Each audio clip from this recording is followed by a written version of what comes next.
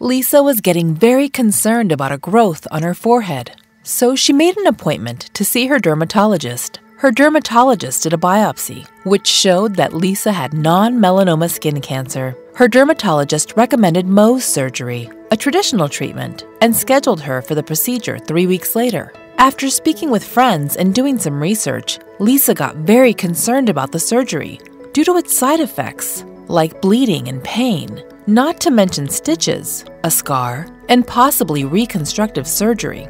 Then Lisa found out about a less invasive treatment called Image Guided Superficial Radiotherapy, or IGSRT, which delivers small doses of radiation and is just as effective as Mohs. What a relief! Lisa called the free GentleCure hotline, and here's what she learned. Instead of surgery, a specially trained therapist directs small amounts of radiation to the targeted area.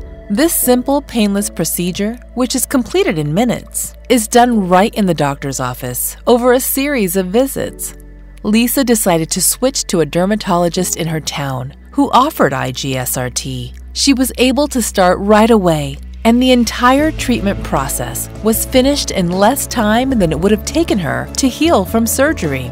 IGSRT is covered by most insurance plans. So, if you're looking for a less invasive and gentler alternative to Mohs surgery, call now to speak with a skin cancer information specialist and learn about IGSRT